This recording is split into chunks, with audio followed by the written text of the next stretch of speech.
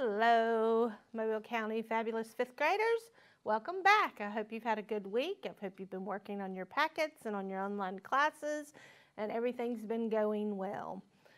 We're going to once again start with word work and our objective is to use combined knowledge of letter and sound correspondences, syllabication patterns, and morphology to read accurately unfamiliar multisyllabic words in context and out of context. And what we're working on really is we work on both. I give you the out of context and then we read it in our sentences and see if it makes sense. So our essential question, again, how do I figure out a new word? By breaking it down into its parts. That's the best thing. When you come across a word, break it down to those words that are, are even sounds that you know and maybe could recognize in other words. Let's start with a tiny bit of review of the Greek and Latin roots that we did last, um, that we did Monday. The first one was aster. Do you remember what that stood for? Or any words that we used with it? Yes, it's star, and we talked about astronauts and asteroids and asterisks, okay? The next one, spec. Anybody remember what it meant? Yeah, to look. You could be a speck spectator. It could be spectacular. Something that you, when I think of something that's spectacular, I think about like what. I believe my child's school is um, probably one of the best ones I could have picked in Mobile.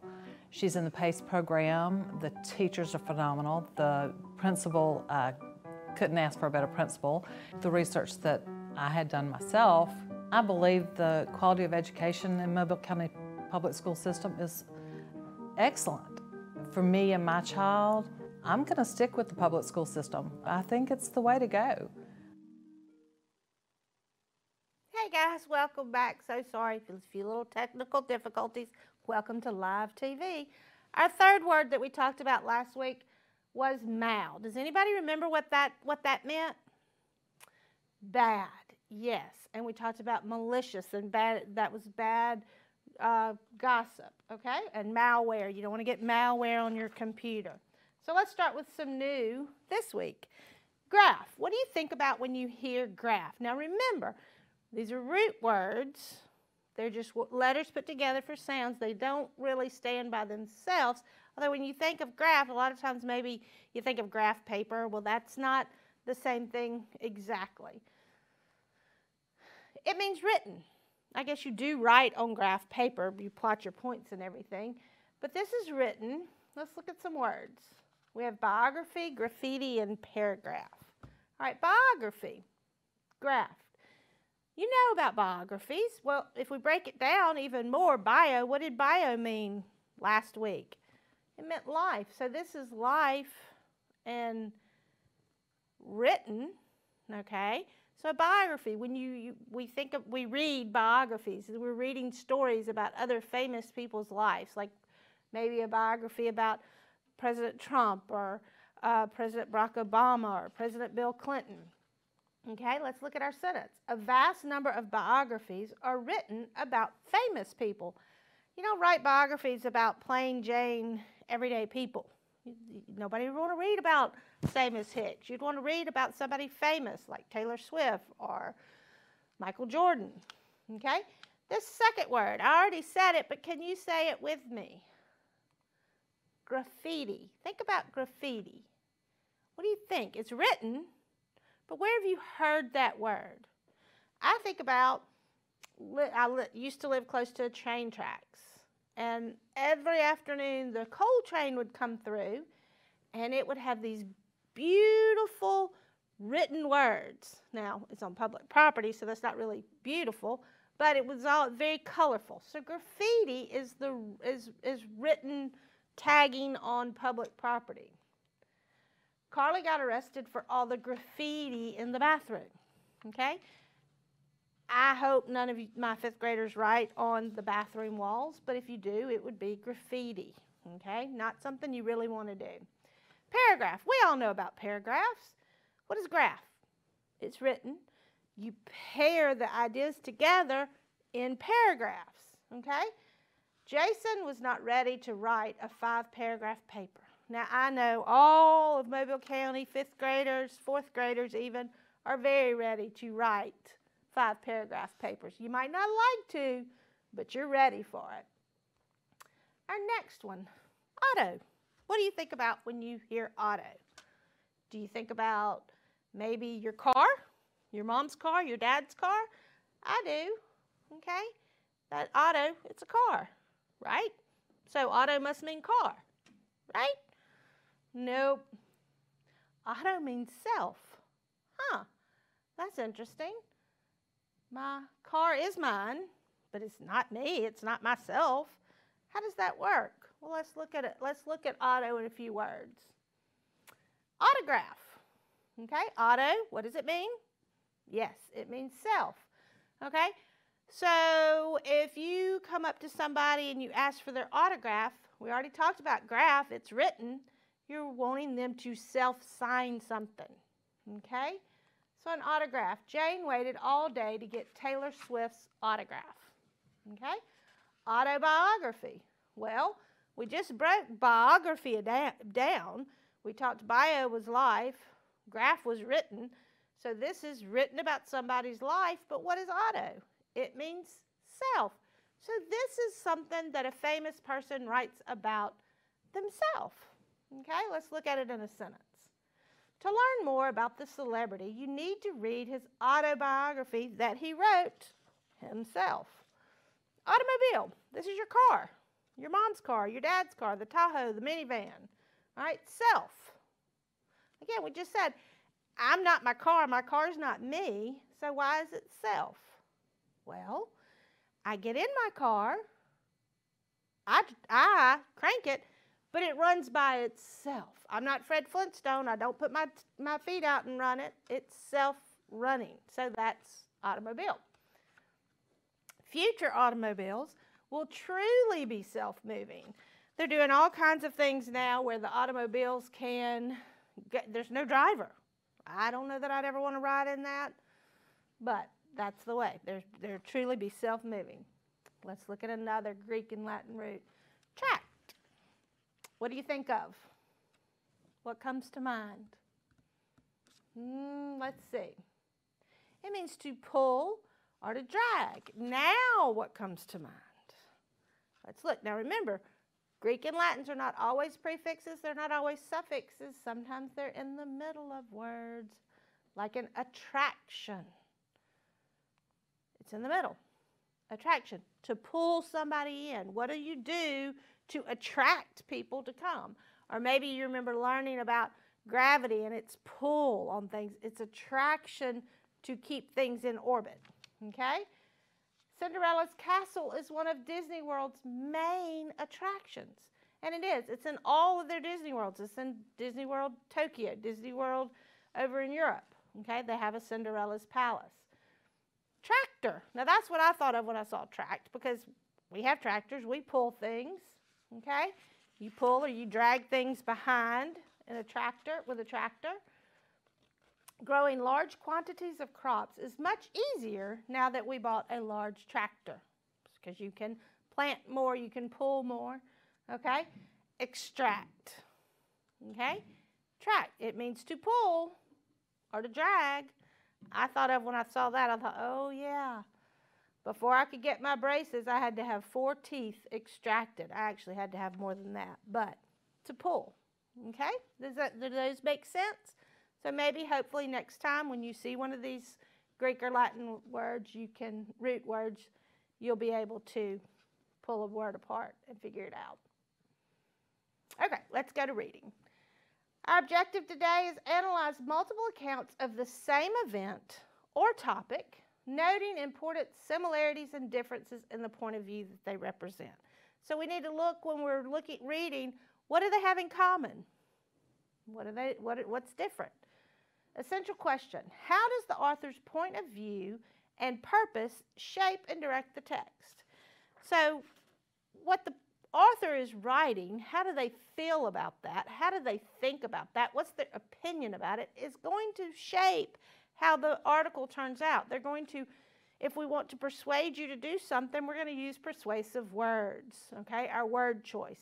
If we love something, we're going to talk about how beautiful and glowing and wonderful it is. If we don't like it, we're going to write about it in a gross, kind of nasty way. It's our word choices, okay? That's where your antonyms and synonyms come in. So, let's look at this one about how an author feels about this particular topic. The chicken noodle soup smelt yummy. I could not wait to eat its warm, soothing, comforting goodness. Whenever I did not feel good, Mom always cooked me soup to make me feel better. How does this author feel about chicken noodle soup? Does she hate it? Does he love it? Yes, he loves it. How do you know? Yes, it talks about soothing, comforting goodness. If I hated something, would I call it good? If I totally disliked something, would I call it comforting? Those we use, those are the words that we talk about when we like something. Okay, let's look at the next one. I walked into the smell of boiled chicken. It brought back memories of being sick for days. The slimy noodles and the thick, disgusting broth makes me shiver and my stomach turn flips. Does this person like chicken noodle soup? No. And this is the thing, we don't always know, the author doesn't explicitly tell us these things, so we have to break down what, we have to think about what they're writing and what word choice they used. And then we will know how to go. So, this author does not like chicken noodle soup. Let's look at this one. Let's see how this author feels about recycling. Recycling is one of the most important things you can do for the planet. The average person makes about four pounds of garbage each day. Most of that garbage ends up in a landfill. A landfill is a giant field covered in tons of stinky, rotten garbage. So, what is this author trying to tell us? Yes, that recycling is very important. Okay? What does this author think about landfills? Does she think they're good? What do you think? What does it say? What evidence do you have? It says that a landfill is a giant field covered in tons of stinky, rotten garbage. Now, I'm sorry, but I don't like my garbage can on Tuesday because it goes out to the street on Wednesday because it's stinky. It's nasty. It's got it's rotten. So how would you feel if you lived next to a stinky rotten garbage? Would it would you want it so landfills for her or him she does not like. Okay? All right. I want to look at some perspectives on three, three different perspectives on school uniforms. That is something that I know third grade teachers, fourth grade teachers, a lot of times when we want to, fifth grade teachers, when we want you to write an opinion piece, this is one of the prompts we give you. What do you feel about uniforms? Okay? So I want us to, we're going to read three, and then we're going to come back and talk about each one. Okay? So I don't think kids should have to wear a uniform to school. Uniforms are not comfortable. Kids need to be comfortable to learn. I can't pay attention if I'm stuck in itchy, weird fitting clothes all day. Uniforms can be expensive for parents. Parents have to buy their kids regular clothes and uniform clothes. That is two sets of clothes. Lastly, I think something that I think uniforms are boring. Kids should be able to wear something that may, matches their personality. School uniforms are not a good idea. That's Jack's opinion. Let's look at the second uniform paragraph. Uniforms are a great idea. Uniforms will get me out of the house so much quicker in the morning. Won't have to pick out an outfit. I won't have to argue with my mom about what to wear. Kids that wear uniforms won't be worried about what other kids are wearing at school. They will be able to pay attention to their teacher instead of looking at everyone's clothes. Everyone will look neat and clean in their uniforms. Wearing uniforms is a great way to bring the school together. Emma. Our third uniform paragraph. As a teacher, I want my students to feel comfortable in my classroom. I want my students to be able to pay attention to our lessons. I do not like to see students distracted by their clothes. School uniforms are great for some students. School uniforms may be a terrible idea for other students. You must look at both sides of the issue. Okay, so Jack's perspective. What did Jack think? Did Jack like them or not? Jack does not like them. How do we know? What proof, what evidence do we have? Well, we have what he says in the very first sentence. I don't think kids should have to wear uniforms. Plain as day, tells you right there. But what, ev- what else does he use? What other reasoning? That cannot be our only answer. We have to go through the whole paragraph and think about it again. You, get, you can't just stop at the first. He also says uniforms are not comfortable. Okay? If uniforms aren't comfortable, nobody likes them. He says they're itchy and weird. He says they can be expensive. He says, I think uniforms are boring. He didn't like them. Let's look at Emma's. What did she think? Emma thinks they're great. How did I know that? What proof did I have that they're great? Well, her very first sentence. And a lot of times in opinions, this is your topic sentence and it tells you what I think. It's your thesis, it's what you think. Uniforms are a great idea. She told me that right off. What did she use to back it up? How do I know? She says they're so much quicker in the morning. Says she won't have to argue with her mom. Nobody really likes to start their day off arguing with somebody. She won't have to be worried about what other people are wearing. It says they'll be able to pay attention to the teacher. And lastly, it says, look neat and clean. Who doesn't want to look neat and clean? So she thinks they're great. Jack did not like them. The teacher, her perspective was, thinks they can be good and bad. Look at it both ways.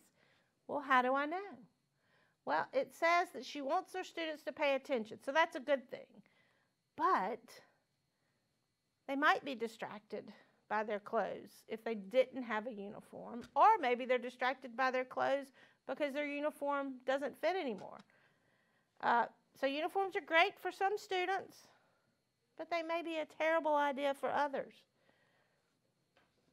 Okay, so now we just read about Emma, we just read about Jack.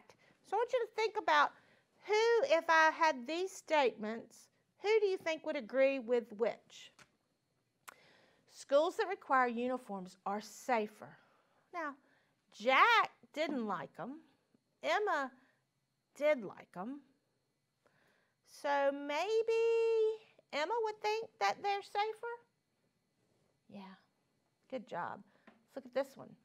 Studies show that uniforms do not improve performance in the classroom. So who might would hold on to that idea? Yep, Jack. Good job. Wearing uniforms help to show school pride. I remember Emma said something about it brings the school together. So if you're together and you're prideful, you're showing that spirit shirt. Yep, Emma. Look at this last one. Wearing uniform forces all kids to be the same. Kids will never learn to solve problems on their own. That would be Jack. Okay? Hmm. Popular topic also, especially in fifth grade. Should cell phones be used in school? Hmm. So let's look at these two perspectives. Yes, I think students should be able to use their cell phones during school. Many cell phones today have special apps that kids can use during class. These apps can help kids learn how to do math problems, write their own storybooks, or research a topic for science class. Cell phones and technology are really important to our future. Teachers should help students use their cell phone to learn. Kids will need to know how to use technology when they get a job. Cell phones are also really fun. Students will pay better attention in class if they get to use their cell phone. Sincerely, Steve. No, I don't think students should be allowed to use their cell phones during school. Students are in school to learn. If kids always depend on their cell phones to do work, they will never learn anything. Students should learn how to do math problems on their own instead of relying on a cell phone to do it for them. It's important that kids learn how to use libraries and read books. Cell phones can't replace your brain. Students who have cell phones at their desk won't pay attention in class. Students will be on social media, websites, instead of paying attention to their teachers. Kids will use their cell phones to text each other during class. Texting should lead to could lead to cheating on tests. Sincerely, Penny. Now, by listening to my voice, which one do you think Miss Hicks agrees with? Yeah, Miss Hicks kind of leads leans towards Penny, but let's look. What was Steve's opinion? What did Steve think? Steve believes that students should be allowed to use their cell phones in school. I agree to a certain, certain amount if you were using it for the right purposes. What were his reasonings? His first reason was kids can use the apps to help them learn math, write stories, and do research.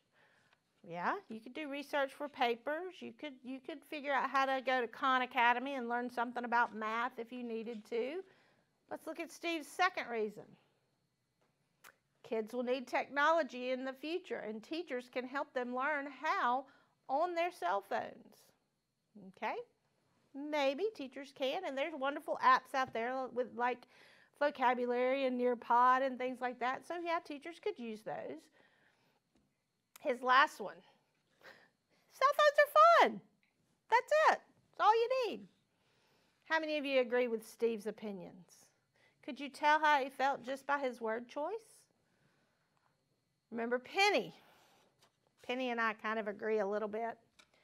Penny said, Penny thinks that students should not use cell phones during school. I kind of agree. They can be distracting. Let's look at her reasonings.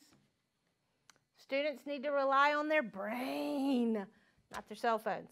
Because, you know, what happens if your cell phone dies? Or you leave it at home? Hmm, I don't know. Students will not pay attention in class, they will be on social media. Some students, she's right, that's what they do. Last reason Penny's last reason is she feels that texting will lead to cheating. Okay? Good job, guys. That's where we're going to stop today. Next week, we're going to we're going to work with looking at the American Revolution from two points of view. Okay? Have a great weekend.